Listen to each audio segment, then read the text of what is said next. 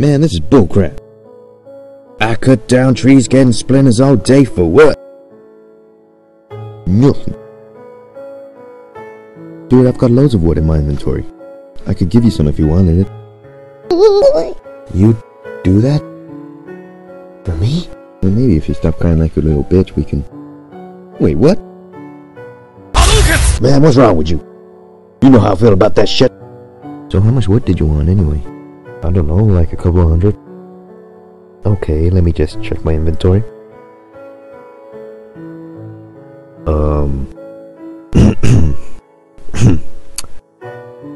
what are you, uh, doing? Okay, everything looks about ready.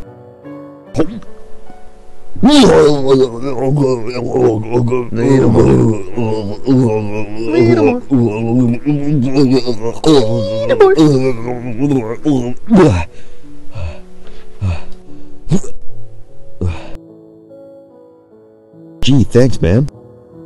You wouldn't happen to have a bed in there, would you?